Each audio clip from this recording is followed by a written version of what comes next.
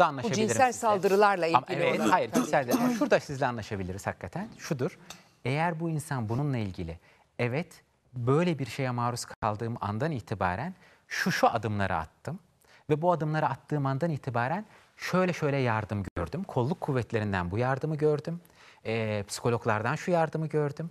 Ee, bununla ilgili şöyle bir sonuca gidildiğiyle beraber geliyorsa bu Mesele yok. Ama Haber öyle olarak. gelmiyor. Ha. Ama haber, Haber öyle olarak. gelmiyor.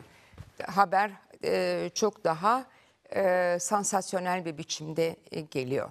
Şimdi e, ama biz de- demin kaldığımız yerden bir miktar devam etmek istiyoruz. Bu kadına yönelik şiddet ve de elinde sonunda onu öldürmeye varacak kadar bir şiddet gösteren erkeklerin e, bir sınıfını anlattınız bize. Bir bir tipini anlattınız. Şimdi onların altyapısına mutlaka- girmiştik. Evet. O altyapıda galiba şunu söylemek lazım. Baktığınız zaman e, şiddet uygulayan erkeğin e, şiddet uygulama konusu olarak en fazla gördüğümüz konulardan bir tanesi galiba kıskançlık.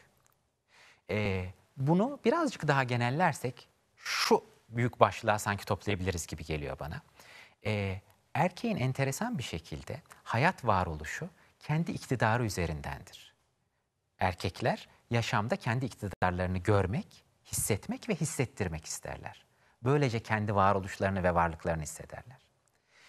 Kendi varlığını hissettirmeye çalışan erkek bir zamanda kendi kurduğu aile yapısı içerisinde de enteresan şekilde bir sahip olma duygusunun içerisindedir. Niye enteresan şekilde yani no- niye normal değil? Çünkü biz psikiyatrların normal diye baktığı şey bu aile yapısının sevgi ilişkisi bazında kurulmasıdır. Biz kimsenin kimsenin sahibi olduğunu düşünmüyoruz. Sizin sahibiniz var mı efendim veya benim sahibim kim?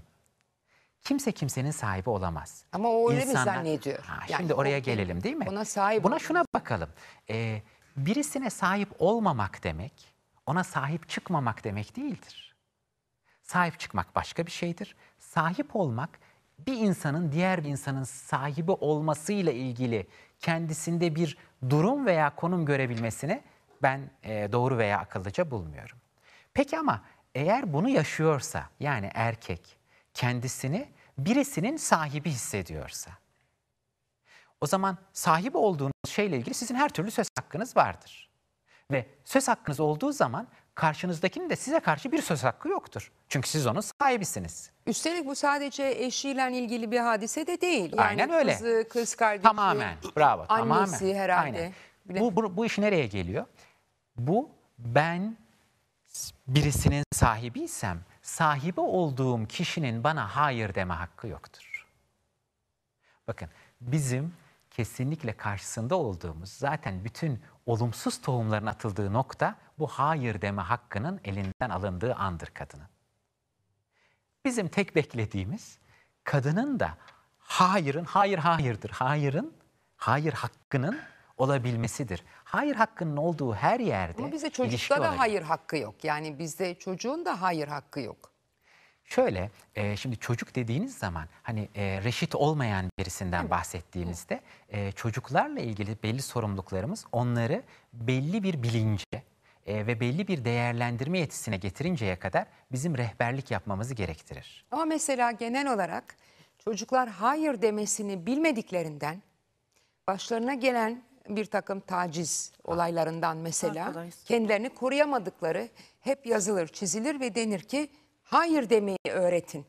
Yani bedenlerine e, yapılan hoşlanmadıkları bir dokunuşa hayır diyebildikleri gün ya da oradan kaçabildikleri ya da ona isyan edebildikleri gün kendilerini koruyabilmiş olacaklar. Ama bizim sistemimiz yani aile içindeki öğretimiz, çocuklarla ilgili çocuklara verdiğimiz eğitim onların hayır demesini e, imkansız kılıyor. Yani bir yemek konuyor önüne, hayır bunu yemeyeceğim diyemiyor çocuk.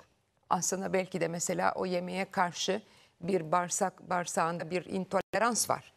Ama biz onu zorla ona yedirmeye çalışıyoruz. Belki o tabiatten ona hayır demesi gerekiyor mesela ve biz ısrarla yediriyoruz. Konu tabii e, Daha buradan da- daha da daha da şeye gider. E, ama hani orada şu var. E, böyle baktığınız zaman e, olması gereken hani aile, iyi aileden bahsediyorsak iyi aile bağlantının olabildiği, insanların birbirini duyabildiği, e, ilginin gösterilebildiği, sevginin gösterilebildiği, sevginin karşılıklı paylaşabildiği ortama biz iyi aile diyoruz.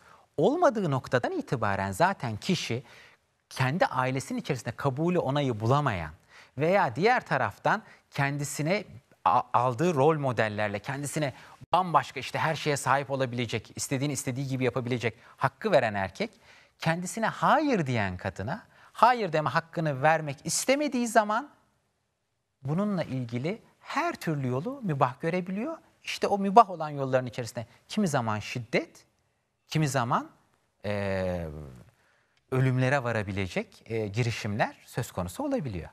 Eee, demek ki burada şuna da bakmak lazım. Hani eee, biz daha önce sizinle eee, bunu ilk konuşurken ben hemen şunu demiştim ne olur ya Sevin Hanımcığım şeyin içerisinde şundan bahsedelim demiştim e, programın içerisinde.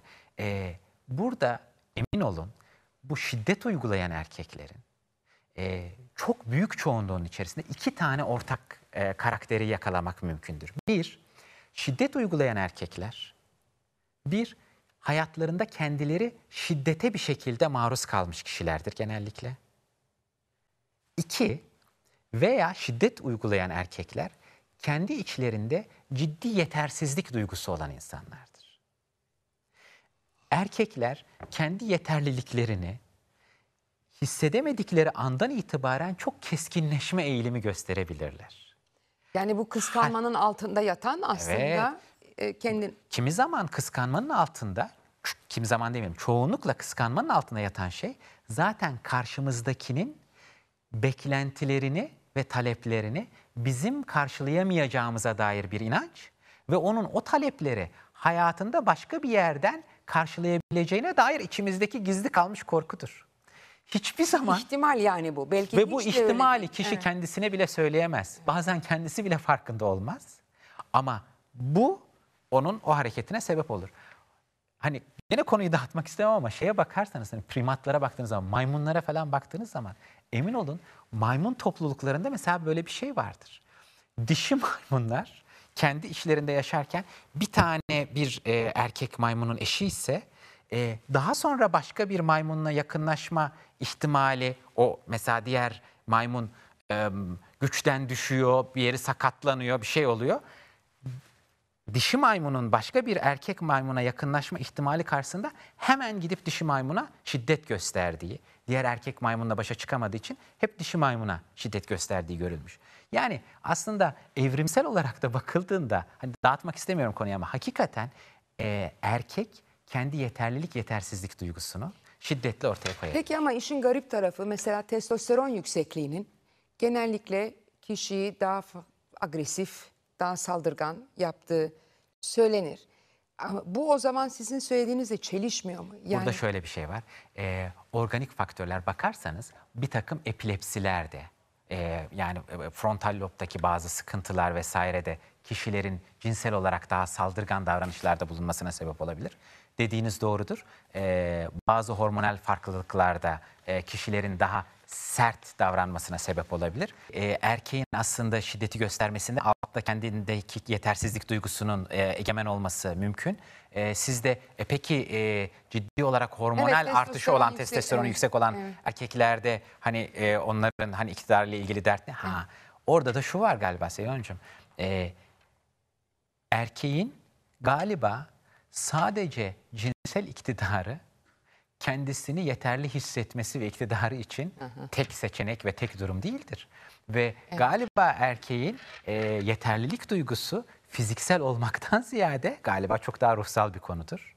E, bu anlamda da bu öyle bir şeydir ki hormonları çok yüksek olan pek çok insan ciddi ruhsal olarak yetersizlik duygusu hissedebilecekken e, hormonları ile ilgili e, Böyle böyle, bir şey olmuyor. yüksekliği olmayan insanların çok e, kendinden emin, güvenli hayatlar sürdürebildiğini ve e, mutlu yapıların içerisine altına imza attığını görüyoruz.